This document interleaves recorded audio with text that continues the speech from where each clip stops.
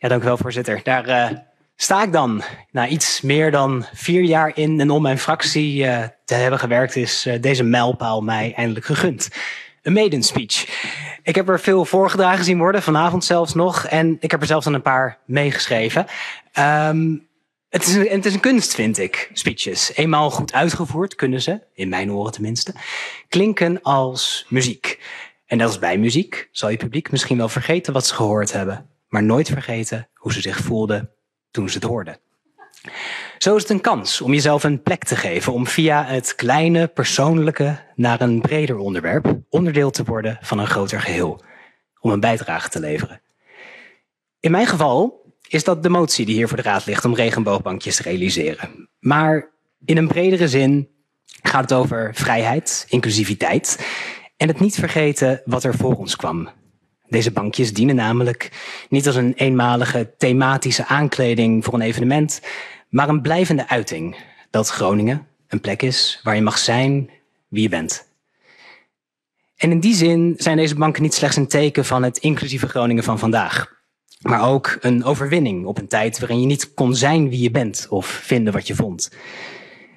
Het is een bescheiden baken voor een streven naar betere dagen. En dat is, en dat je, als je lang gelopen hebt en je voeten even wil laten rusten, je de kans hebt om te gaan zitten. En horen of lezen over mensen die voor je zijn gekomen. En in wiens voetsporen je wellicht wel hebt gelopen. De voetsporen die ik hier vandaag volg zijn die van mijn twee oma's. Allereerst moet ik denken aan mijn oma Lagestee. Ze werd in 1918 geboren als Dorothea Lutz in het toen nog Duitse Königsberg. Als jonge vrouw werkte ze, tijdens de oorlog, in de Duitse diplomatendienst als secretaresse. Tot ze dat niet meer mocht doen. Ze had te veel en te vocaal kritiek op het naziregime. Ze moest terug naar Duitsland om nabij Berlijn, tijdens de slotdagen van de oorlog, dwangarbeid te verrichten in de munitiefabriek. Dezelfde fabriek waar mijn opa aan het werk was gezet, na een half jaar als politiek gevangene te hebben doorgebracht in concentratiekamp Sachsenhausen. Ik ontdekte laatst een interview van mijn oma in een krant uit 1963, waarin ze vertelde over haar tijd in Kaunas in Litouwen rond de uitbraak van de oorlog. En de Russische spion die haar daar dag in dag uit uh, schaduwde. Het is een verhaal waar je een dramaserie over zou kunnen produceren. Maar toch is dat niet het deel van het verhaal waar ik het vaakst aan terugdenk. Het is namelijk het stuk na het verhaal over de oorlogsjaren. De interviewer schrijft over hoe mijn opa tijdens het gesprek naar huis belt. Mijn oma heeft opgenomen en de volgende boodschap doorgegeven voor het interview. Denk eraan, het politiek getij kan keren en we hebben geen zin om nog eens in een kamp terecht te komen. Het is een duidelijke boodschap. Wat we koesteren en voor lief nemen is niet vanzelfsprekend. Betere dagen zijn geen garantie. Voor bepaalde dingen moet je blijven vechten. Dat zal ik doen. Dat heeft mijn oma ook gedaan. Al deze dat niet helemaal op het smaakje waar ik voor zou kiezen. In 1967 richtte ze namelijk in het Brabantse Oosterhout de lokale afdeling van de VVD op. het zijn dus ook politieke voetsporen die ik volg. En dat in Groningen. De stad waar zoveel voetstappen van mijn andere oma, oma Rolfsema, gezet zijn. Die grootmoeder, geboren Antje van der Ploeg in het hier nabijgelegen Siddeburen, woonde als kind aan de Oosterweg en ook de Korreweg. Haar ouders trouwden in de Oosterkerk en ze ging naar de naastgelegen school met Den Bijbel. Hoewel ze een flink merendeel van de rest van haar leven buiten Groningen zou wonen, heeft ze haar nooit losgelaten. Ik denk dat wij dat hier allemaal wel snappen.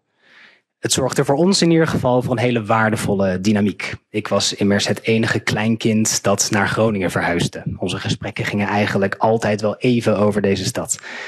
Ze kon de hele kaart van de stad inkleuren met verhalen. In elke straat leek wel een verhaal van haar te liggen. Er woonde een vriendinnetje in die buurt en ze wandelde vaak langs die vijver of er zat een heerlijke bakker op die hoek. En tijdens haar laatste bezoek aan Groningen ooit stonden we boven op het forum. Ze vond het prachtig. Ik was inmiddels al betrokken in de politiek hier en elke richting die zij inwees en kon vertellen over wat er vroeger was, kon ik haar vertellen over wat we daar voor de toekomst gingen doen. Over deze kleurrijke aanwinst aan het straatbeeld kan ik haar niet meer vertellen. Maar het zijn deze voetsporen, die van mijn beide oma's, die mij hier vandaag met dit verhaal plaatsen. En zo heeft iedereen hier wel iets uit hun verleden, wat diegene hier brengt en motiveert om een bijdrage te leveren en zich in te zetten voor een betere morgen. Ik geloof in betere dagen. Dat wil ik vandaag uitdragen en daar is deze motie een onderdeel van. Met een handvol regenboogbankjes kunnen we namelijk laten zien, door mensen een kans te geven te gaan zitten, welke duisternis we hebben overwonnen. Dat Groningen vooruitloopt en dat je op de rest van je wandeling de voetsporen kan maken naar die betere dagen. Dank u wel.